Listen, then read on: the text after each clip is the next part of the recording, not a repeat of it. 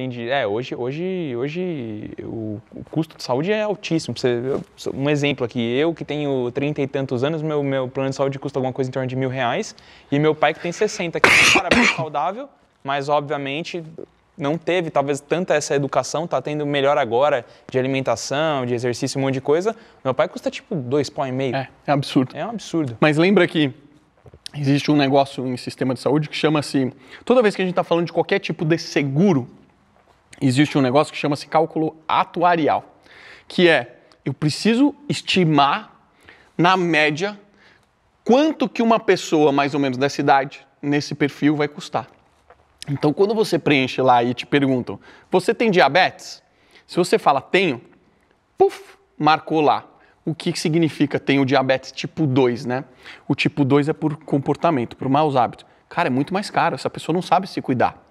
Ela não aprendeu. Então, o plano de saúde leva em consideração que você precisa ser cobrado mais. Então, se é no plano individual, essa pessoa está ferrada. Se é num plano coletivo, num plano de saúde de uma empresa, quem está ferrada? A empresa, porque o custo vai subir em geral. Então, a gente está passando por um momento da saúde que a coordenação ela se torna chave. O que a gente faz é, cara, como é que a gente coordena isso? Como é que eu abro as portas certas para a pessoa? Eu chego para você e falo assim: agora você precisa fazer esse exame, agora você precisa fazer esse outro. Porque se você não fizer, a consequência vai ser muito mais cara do que pagar o exame. Então, o sistema de saúde brasileiro está começando a despertar para isso. Poucas empresas entendem isso e poucas empresas praticam. A grande maioria não faz. Existem empresas geniais como a Prevent Senior que aprendeu isso e faz. Tem diversas startups que estão surgindo que descobriram que isso mudou o cenário de algumas empresas nos Estados Unidos, estão trazendo para cá. E a Clivo faz a primeira camada.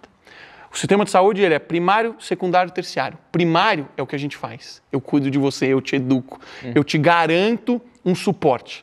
Secundário, laboratório, exames. Terciário, hospitalar. Quando você precisa ser internado, quando você precisa ir para emergência. Hoje, a base da pirâmide é hospitalar. São os grandes ganhadores do dinheiro do sistema de saúde. O que a gente acredita é que essa pirâmide dá para inverter. Aqui ficam os hospitais. Deveria ser, cara, a última instância. Você só vai para o hospital quando você realmente precisa. Antes disso, cara, tem atenção primária, a gente vai cuidar de você, a gente vai te educar, tem clínicas que você consegue ir que vão tornar a saúde mais barata. Imagina o impacto que isso pode trazer no Brasil se a gente começar a ter uma saúde muito mais eficiente. É, a gente abaixa esses valores Brutalmente. né? Brutalmente. Uma cirurgia vai ficar muito mais barata, porque não, tem aquela demanda absurda, né? Um crônico, cara, ele ocupa o espaço de 5. Não porque ele é ocupado, porque o sistema de saúde foi preparado para isso. Então, se eu pego 40% da população adulta brasileira que é crônica, que custa seis vezes mais, e eu baixo isso para duas vezes, olha o impacto que eu faço. E aí eu vou te fazer uma pergunta. A gente sabe que isso existe. É, e isso é da vontade de todos, por exemplo, dos grandes? Porque a gente sabe que, por exemplo, a indústria farmacêutica, a indústria hospitalar é uma indústria que vira muito dinheiro porque sempre tem pessoas doentes. É da vontade desses caras de começar a mexer nesses pontos? Porque, teoricamente, a gente vai baixar, eh, teoricamente, o incoming deles. Cara, se você parar para pensar, a, a eficiência ela é positiva em todos os âmbitos. Não significa que por você gerar mais eficiência você vai consumir menos qualquer parte da cadeia, tá? Existem muitas pessoas no Brasil hoje que elas não têm acesso a medicamento, não têm acesso à saúde. Então, no fim das contas, o que você está fazendo, cara, é, pô, nós dois temos acesso à saúde uma galera que não tem. Cara, vamos gerar eficiência e vamos dar acesso para a saúde também. Então, o dinheiro que você pagava, que é mil reais, talvez você possa pagar 200. E outras quatro pessoas também vão pagar 200, entendeu? Então, eu acho que no fim das contas, é, tudo se acomoda. Só que é um processo lento. Só que, cara, lembra que a base do problema todo, qual que é? Cara, no fim das contas, a gente está falando de a pessoa precisa fazer exercício, a pessoa precisa saber se alimentar. Qual que é a cadeia mais presente no nosso dia a dia, em todos os momentos? Do que a gente acorda, que a gente vai dormir. Alimentação. Alimentação. Cara, é McDonald's, é Burger King, é fast food. Cara, salgadinho, refrigerante. Cara, e essas coisas são baratas. Por quê? Geraram uma eficiência tão grande industrial que hoje você pega uma Coca-Cola, é baratíssimo. Você pega um salgadinho mais barato do que você, sabe? E é prático. Então É as prático, é pessoas. rápido, né? As pessoas fazem uso disso. Então, cara, a base do problema, cara, tá na, na, na alimentação. Quando as pessoas aprenderem a se alimentar, a entender seu próprio corpo, a entender que você precisa fazer exercício para sua máquina ter saúde, etc., cara, tudo muda. Só que esse não é um negócio que você muda do dia para a noite. Cara, leva décadas para você fazer isso. É, eu, eu vejo que eu passo esse- por esse problema, que às vezes eu tô na correria e falo, pô, preciso comer um negócio. Só que você fala, pô, não vou sentar ali comendo McDonald's, porque vai acabar com a minha dieta, pô, tô, tô fazendo tudo tão direitinho. Aí, aí você fica nessa, o que, que eu vou comer, o que, que eu vou comer, o que, que eu vou comer, porque você precisa de um negócio rápido. É. Aí geralmente o que a gente corre? Para um temaki. Só que É. eu também penso, pô, essa truta só humanizada que tá aqui, será que ela é boa? Será que eu não tomo um puta monte de ração lixo também? E, e aí eu acho que eu tô fazendo um negócio bom e não tô, né? Entendi, então é, é- você fica nesse ponto. É, é que a gente ainda vive, teoricamente, numa bolha que é São Paulo, que aqui a gente tem tudo. Tudo, é. Mas se você vai para qualquer outro lugar, sei lá, do Rio de Janeiro talvez tenha, BH talvez tenha, um pouco do Sul, mas você começa O Brasil de verdade não tem. não tem. E no resto do mundo, em vários outros lugares, não tem. É, Hoje, o que, que você pensa assim de alimentação saudável? É uma coisa que você faz, produto mais orgânico, ou você tem essas. Cara, eu acho que a, a sal- a alimentação saudável, ela é a mais barata de todas. Ela dá trabalho, então depende de organização.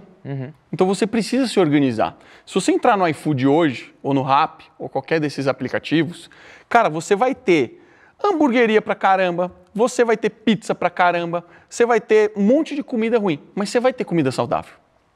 Então, é o que você escolhe. Você pode ter uma vida prática, mas é o que você escolhe. Por exemplo, eu tenho uma personal chef que chama-se Simone Pires. Ela vai na minha casa uma vez a cada duas semanas. Ela vai no supermercado, ela compra todos os ingredientes, ela compra legumes, ela compra vegetais, ela compra carboidratos e ela compra as proteínas. Cara, ela prepara um monte de marmita para mim e chego em casa furioso de fome. Cara, eu pego a marmita, um minuto e meio no micro-ondas, eu tô comendo saudável. É organização. E se você fizer a conta, cara, sai mais barato do que você ficar comprando no iFood e gastando 100 reais todas as vezes que você come. Ou você indo num japonês, ou você indo num restaurante. Cara, sai mais barato. Então, é uma questão de você se organizar. Você precisa entender que existem recursos que vão te permitir você comer saudável. Mas, cara, eu não sou xiita. Óbvio que eu como porcaria, eu adoro também comer porcaria, eu sou ser humano. Então chega ali num final de semana, eu quero comer um hambúrguer, eu vou comer um É o hambúrguer. pratinho, né? Exatamente, cara. Tem que, ser- né? tem que ter os prazeres da vida também. Eu acho que assim, cara, você não pode desequilibrar a ponto de só fazer coisas que vão te drenar. Beber em excesso, fumar em excesso. Cara, eu gosto do meu charuto, eu fumo meu charuto, mas, cara, eu fumo uma vez por semana. Eu bebo minha cerveja, bebo, mas, cara, é uma vez por semana no máximo que eu bebo, e não é muito, sabe? É aquele momento de prazer que eu falo, puta, cara, que do caramba, foi demais essa semana, me esforcei pra caramba, comi bem. Eu vou me dar ao luxo de fumar o meu charuto e tomar uma cerveja e curtir meu dia aqui de um jeito mais relaxado. É, se, se é uma coisa ponderada, você não se sente nem mal. O problema é se você fizer isso na sexta, no sábado, no domingo, na segunda você vai estar, puta, exagerei, né? Passei do ponto. É. E aí você começa a perder a sensibilidade, né? É. Você começa, cara, a... você pega assim, eu tenho um conhecido que ele era bem gordo. E ele falava assim, cara, eu não, eu não quero ser magro, eu amo ser gordo. Eu gosto de ser gordo, eu me sinto bem, eu tenho energia. Isso daí que falam é tudo mentira. Até o dia que ele emagreceu. O dia que ele emagreceu, falei, galera, lembra que eu falava? Que eu tinha energia, que eu estava feliz? Não era verdade. Eu não conhecia o outro lado da moeda. Hoje eu sou Era a saudável referência que você tinha, né? é a referência que você tinha. Então, cara, a gente tem que ter- tomar muito cuidado com isso. A gente precisa ter a referência certa, o, o ambiente certo que a gente está. Porque, cara, se a gente anda dentro de um universo que só tem coisas ruins pra gente, a gente vai ser influenciado por coisas ruins. Uhum. Então é importante, cara, você tomar muito cuidado com a sua atmosfera. Se cerque da atmosfera que você quer trazer para sua vida. Traga pessoas boas que vão te influenciar positivamente na sua saúde, vão te influenciar positivamente nos negócios e em tudo que você almeja para sua vida. Uhum. Porque senão, cara, vai ser muito difícil você chegar aonde você quer lutando contra pessoas que estão te puxando. Imagina você quer fazer dieta, os seus amigos estão falando para você: "Porra, Vitão, vamos tomar uma aqui, cara. Vamos comer, vamos comer um negócio aqui". E acontece, é Sim. é natural, as pessoas Sim. te puxam.